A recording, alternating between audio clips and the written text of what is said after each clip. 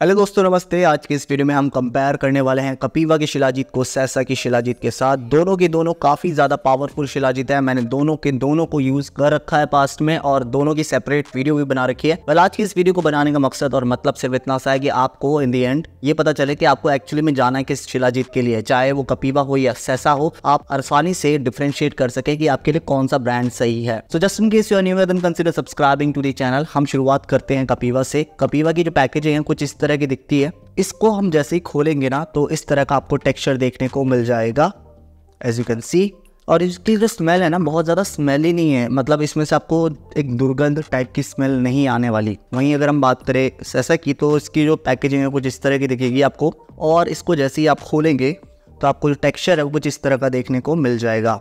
अब शुरुआत करते हैं प्राइस पॉइंट से। तो कपीवा की 20 ग्राम की जो शिलाजीत है, वो आपको मिलती है ट्रिपल नाइन रुपीज़ की और सैसा की जो 20 ग्राम की शिलाजीत है, ये आपको लगभग 875 फाइव रुपीज़ की मिल जाती है। तो प्राइस वाइज सैसा ज़्यादा अफोर्डेबल है। पहली बार अब बात कर लेते हैं दोनों के टेक्सचर की। तो दोनों के साथ आपको इस तरह का स्पून मिलेगा। इस तरह का। और इससे ही आपको अपनी शिलाजीत को निकालना है। शिलाजीत की एक खास बात होती है कि वो अपने रूम टेम्परेचर के हिसाब से अपने आप को ढाल लेती है। As you can see Kapiva ने अपने आप को ढाल लिया है रूम टेम्परेचर के हिसाब से। देखिए, बिल्कुल कड़क हो रखी है ये। आपको आवाज़ भी आ रही होगी।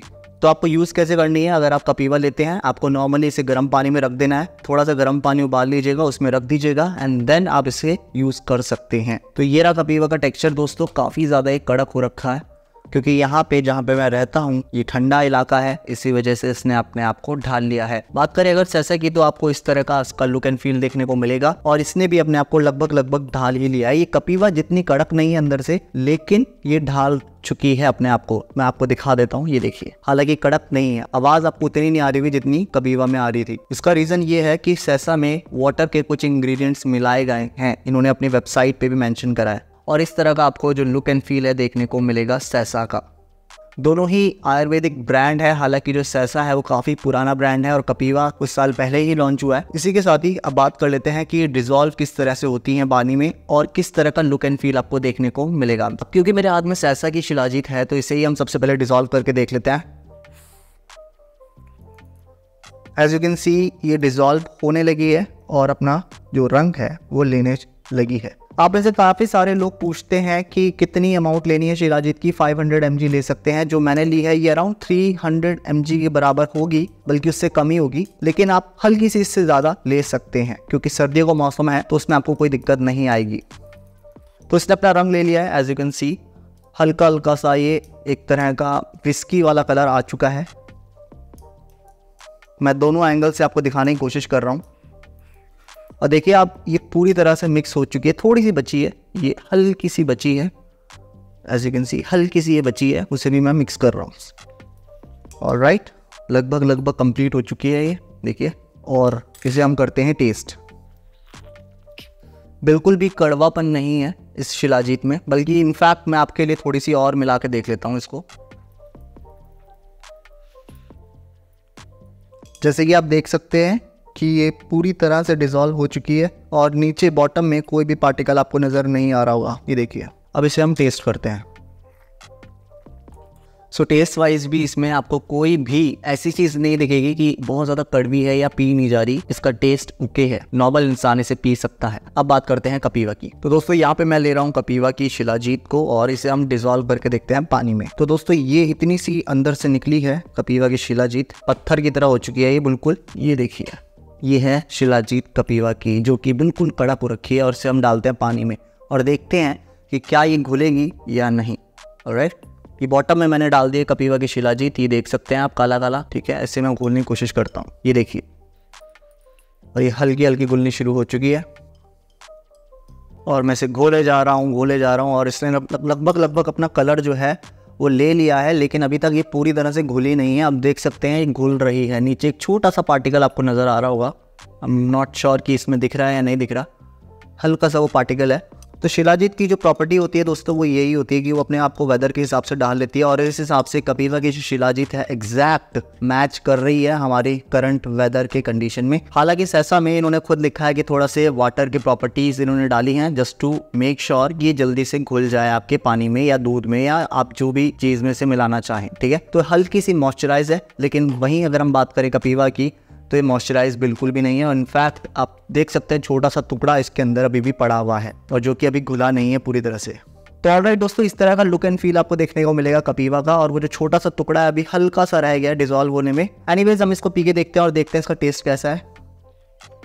बाय द वे कपीवा का जो टेस्ट है, हल्का सा सैसा से कड़वा है और देखिए आप रंगत में फ़र्क कितना है। ये है सैसा और ये है कपीवा। दोनों के दोनों आपके सामने रखे हैं मैंने। सैसा को एक बार पी के देख लेता हूँ।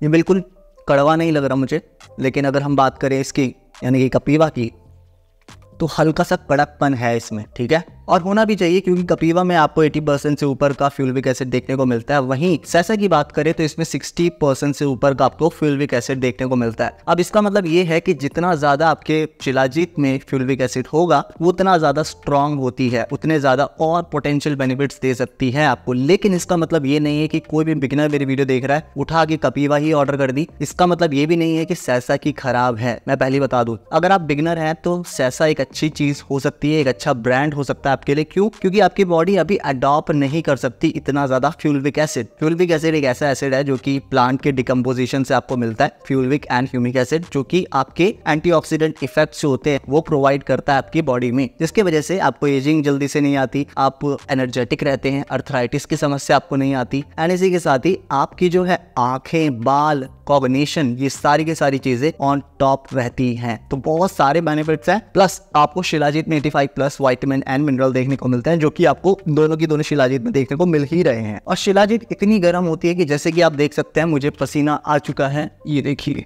ये देखिए, अगर आप देख पा रहे हैं ऑलरेडी मेरे को स्वेटिंग होना चालू हो चुकी है। ये होती है शिलाजीत की पावर मैंने आपके सामने दोनों दो के दोनों पिए हैं शिलाजीत। लगभग लगभग ये हो चुकी होगी 800 हंड्रेड और मैं अभी भी मान नहीं रहा हूँ, अभी भी पिए जा रहा हूँ, क्योंकि मुझे काफ़ी ज़्यादा पसंद है शिलाजीत। तो इसी वजह से मेरे को पसीना आ रहा है। तो इसी वजह से मैं आपको भी रोकता हूँ कि ज़्यादा अमाउंट नहीं पीनी चाहिए शिलाजीत की, क्योंकि आपकी बॉडी को अभी आदत नहीं है। अगर ज़्यादा पियोगे तो दस्त लग जाएँगे, फिर भागते रहना बाथरूम में, ठीक है? बाद कपिया ने अपने पूरा का पूरा कलर ले लिया है और वो पार्टिकल भी डिजोल्व हो गया है।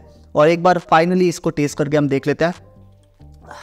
भाई, मज़ा आ गया। लिटरली बता रहा हूँ, अगर आप कभी भी पहली बार शिलाजीत पियोगे ना, आपको शिलाजीत पीते ही आपको एहसास होगा कि आपने क्या चीज़ पिया लाइक अमृत पिया है आपने। क्योंकि ये एकदम से इफ़ेक्ट नहीं दिखाएगा, लेकिन आप अगर इसे हफ़्ते भर भी पी लोगे या पंद्रह दिन भी पी लोगे ना, आपको खुद असर महसूस होगा। जिन लोगों ने पी है शिलाजीत या जिन लोगों ने कंज्यूम करी है, वो कमेंट ज़रूर करना है यार कि किस तरह के आपको रिज़ल्ट देखने को मिल रहे हैं। और ये है जैसा कि इसे भी हम थोड़े से पी लेते हैं।